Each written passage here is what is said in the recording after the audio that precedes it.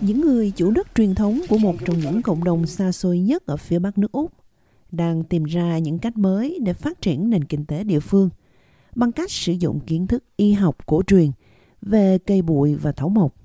Đối với bộ tộc Buranguku, vùng đất rừng rộng lớn trên đảo Tiwi của họ là sân sau và đóng vai trò như một nhà thuốc thiên nhiên.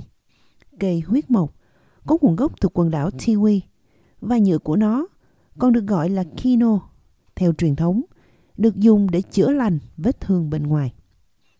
Chủ tịch của tập đoàn Guranco, ông Ron Bontam Louis cho biết đây là kiến thức đã được truyền qua nhiều thế hệ.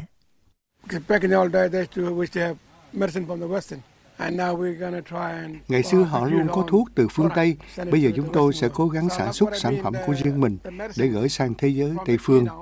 Thuốc từ cây kino sẽ được đưa vào một cái chai nhỏ mà chúng ta có thể làm thành một loại kem để khi bị ghẻ, bạn bôi kem lên vết ghẻ, nó sẽ sạch và lành lặn sau hai ngày. Người Wuran Kugu trên quần đảo Tiwi sống ở một trong những nơi biệt lập nhất đất nước.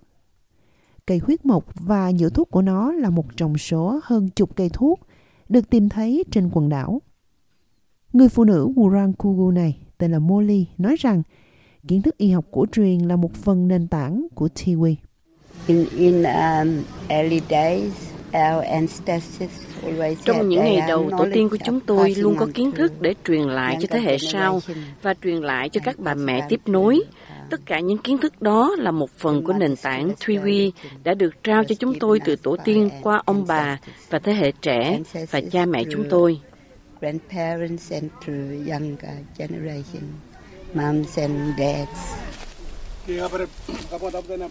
Lần đầu tiên các loại thuốc truyền thống của Tiwi có thể được sản xuất hàng loạt.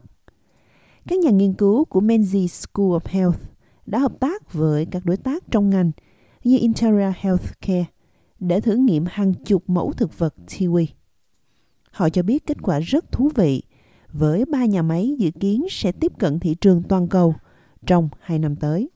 Trưởng phòng nghiên cứu và phát triển tại Integra Healthcare, bà Elizabeth Stills cho biết, nhóm này là chuyên gia về thuốc thảo dược, nhưng họ vẫn chưa chế biến được các loại thuốc cổ truyền thảo mộc có nguồn gốc từ Úc.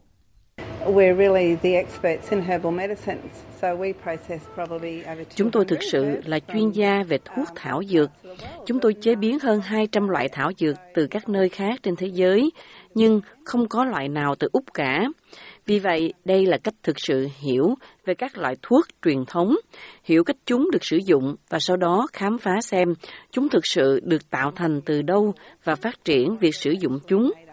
Đây là một dự án rất tham vọng, nhưng nó đã được khai triển từ năm 2015.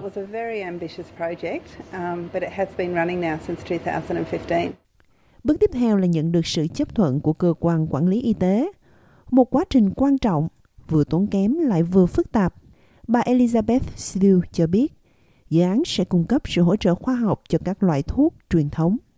As a biochemist,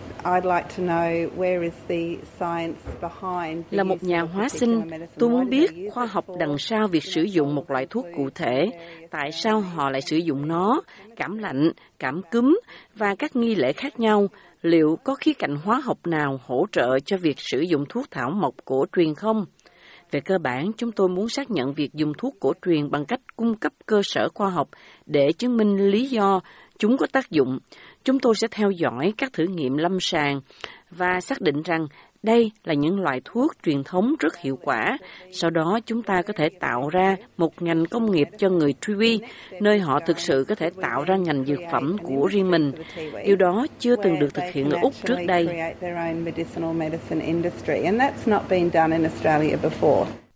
Việc xây dựng hiện đang được tiến hành để đổi mới cơ sở hạ tầng nhà ở cho khoảng 50 người sống ở đây. Với hy vọng các dự án kinh doanh mới sẽ mang lại việc làm và nguồn lực cần thiết để duy trì cộng đồng. Ron Boan Tumuli nói rằng ông hy vọng được thấy người dân của mình trở về quê hương ở quần đảo Tiwi và có thể ở lại đây. Tôi với tư cách là chủ tịch của tổ chức này Tôi đã tạo ra dự án này vì nó có ý nghĩa rất lớn đối với tôi và người dân của tôi. Việc này có thể mang lại lợi ích cho người dân của chúng tôi và tạo ra nhiều việc làm hơn cho mọi người. Và tôi muốn thấy người dân của mình quay trở lại và sống ở quê hương. Bằng cách đó, chúng tôi có hai cộng đồng trên đảo Tiwi.